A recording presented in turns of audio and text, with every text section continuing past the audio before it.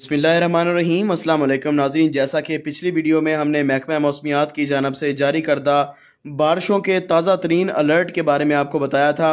आज महकमा मौसमियात ने एक और अलर्ट जारी किया है, जिसमें 19 अगस्त से 25 अगस्त के दौरान मूसलाधार बारिशों की वजह से दरिया जहलम दरिया चनाब और सतलज में सैलाबी सूरत हाल पैदा होने का खतरे के बारे में बताया गया है।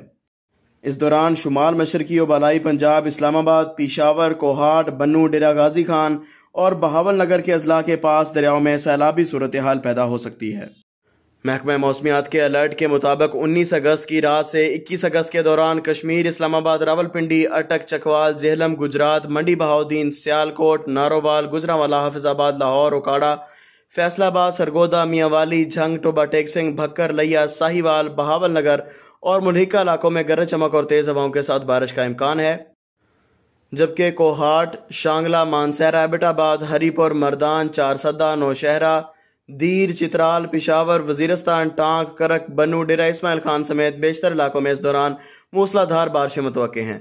गिरगत बल्तस्तान की अक्सर वादियों में इस दौरान मूसलाधार बारिशें होंगी, जबकि चंद एक मकाम पर गरज चमक और तेज हवाओं के साथ तूफानी बारिशों का भी इम्कान है। बीस अगस्त से इक्कीस अगस्त की रात के दौरान डेरा गाजी खान राजनपुर खानपुर रहीम, यार खान, मुल्तान, बहावल नगर, बहावलपुर, नसीराबाद, जाफराबाद, कोहलू, लोरलई, बारखान, योब खुशदार और कल्लात में भी तेज हवाओं और गरज चमक के साथ बारिश का इम्कान है। व्यूवर्स, अपडेट्स का सिलसिला जारी रहेगा। वीडियो को लाइक कर दें, चैनल को सब्सक्राइब कर लें ताकि हर नई वीडियो का नोटिफिकेशन आपको मिलता रहे। इजाज़त दीजिए, अल्लाह हाफिज़।